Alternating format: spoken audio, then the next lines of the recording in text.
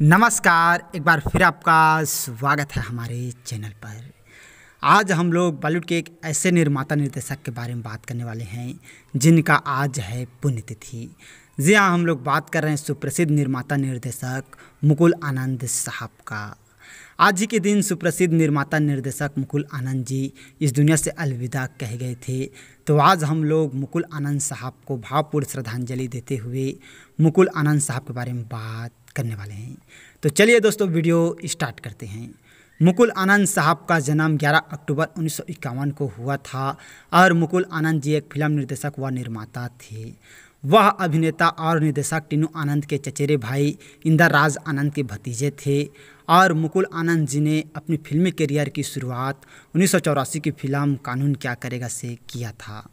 और इनकी दूसरी फ़िल्म एतबार था जो उन्नीस सौ पचासी में रिलीज़ हुआ, जो अल्फ्रेड हिचकॉक के classic Dial M for Murder से प्रेरित थी। और फ़िल्म जिसने पहली बार उन्हें मान्यता प्राप्त की, वह महाकाव्य फ़िल्म सल्तनत जो उन्नीस सौ छियासी में रिलीज़ हुई थी, जो पहली बार वास्तविक जीवन के पिता और बेटे धर्मेंद्र और सनी देओल को एक साथ लाया और अभिनेत्री जूही चावला का परिचय दिया।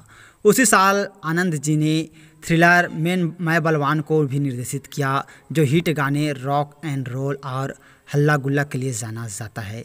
उनकी पहली बॉक्स ऑफ़िस की सफलता इंसाफ थी, जो उन्नीस सौ सतासी में रिलीज़ हुआ, और विनोद खन्ना को एक अंतराल के बाद फ़िल्मों के लिए पुनः शुरू करने के लिए जिम्मेदार है।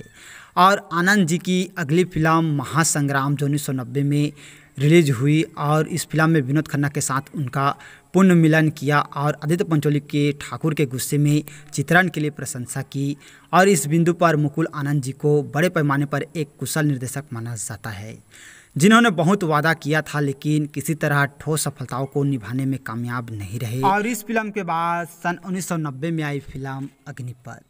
जी और इस फ़िल्म में लीड रोल पे अमिताभ बच्चन साहब और मिथुन चक्रवर्ती साहब हैं और इस फ़िल्म का निर्देशक मुकुल आनंद साहब ही थे।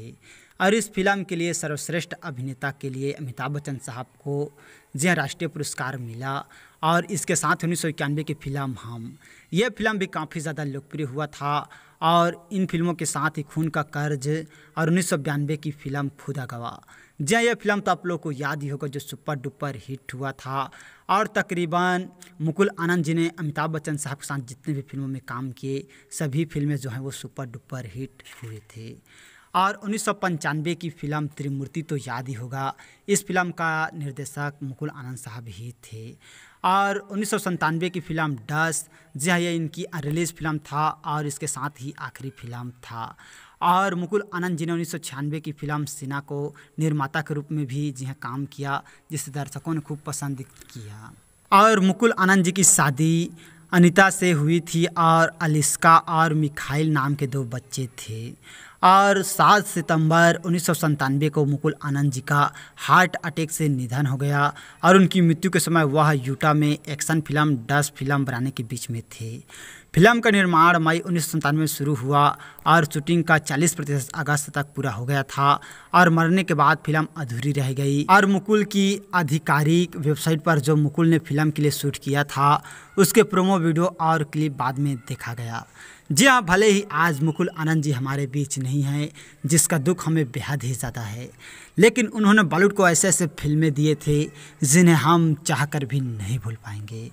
तो हम लोग तरफ़ से मुकुल आनंद साहब को भावपूर्ण श्रद्धांजलि, और वे जहाँ भी रहें, खुश रहें, आबाद रहें, हम लोगों की यही दुआ है। तो आज हम लोगों ने बात की बॉलीवुड के सुप्रसिद्ध निर्माता, निर्देशक मुकुल आनंद साहब का तो और इसी तरह के जानकारी के लिए अगर अभी तक आप लोगों ने हमारे चैनल को सब्सक्राइब नहीं किया है तो प्लीज़ दोस्तों हमारा चैनल ज़रूर सब्सक्राइब कीजिएगा और वीडियो को अभी तक लाइक नहीं किए हैं तो लाइक कीजिएगा, शेयर कीजिएगा। थैंक यू दोस्तों हमारे वीडियो वॉचिंग करने के लिए।